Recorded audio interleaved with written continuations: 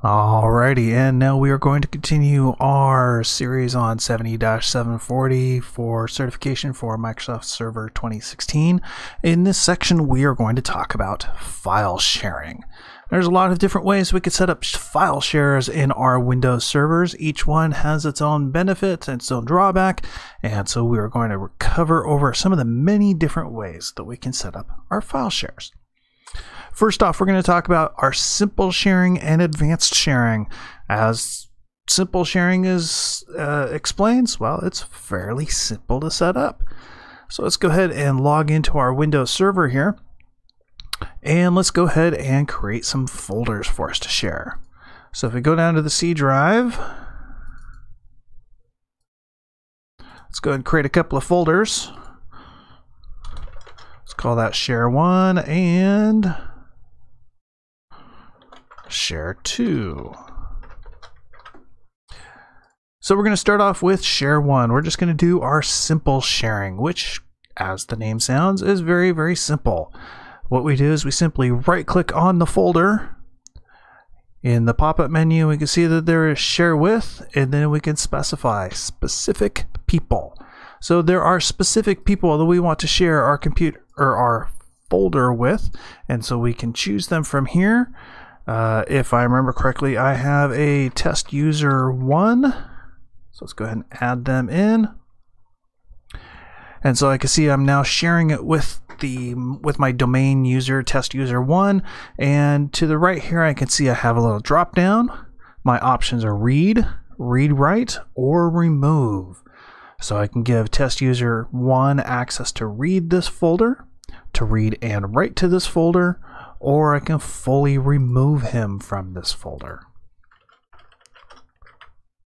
Same thing with test user 2 and so on. And I can type in as many users or groups at this point that I want to share with. I then say share and there we go. The folder is now shared to that user. The user will need to have this share path uh, which can be emailed or copied uh, and then shared with them via some other method, and then they can access the files that are on those folders. So that's the simple share method. The second option is the advanced sharing, which, hey, gives you a few more advanced options. If we if we look at share number two here, which we haven't shared out yet, we right click, and in this case, instead of sharing it, we're going to go to Properties. Now in Properties, we see we have these tabs up top, General, Sharing, Security, Previous Versions, and Customize. We are looking for the Sharing tab. We can see here, well, we're currently not sharing it. I could do a quick and simple share by clicking the Share button. However, I want to set up some advanced sharing. So I'm going to choose the Advanced Sharing button. When I click on this, it brings up another window where I can say, yes, I want to share it. I can specify what the name I want to share it as. Perhaps I don't want to share this as share to. Perhaps I want to share this as games. And then from here, I can also specify my permissions. Who do I want to have access to this? Right now, everybody has read access. Perhaps I don't want everyone to have read access.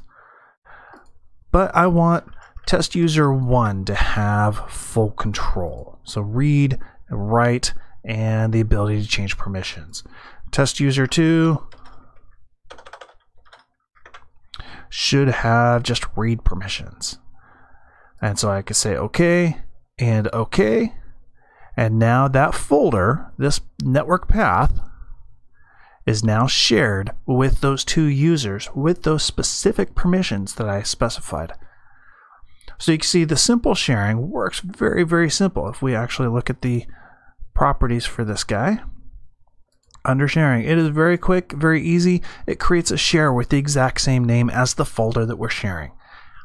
Doesn't give us too many advanced options, such as creating multiple shares or doing uh, different names. However, the advanced sharing allows us to have different names. We can actually share it multiple times.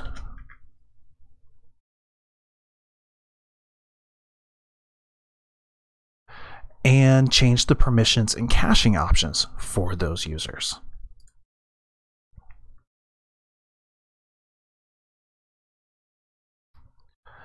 Okay, so that is simple sharing and advanced sharing. In the next video, we're going to continue and we're going to talk about file and storage services and some of the even more advanced sharing options that they give us.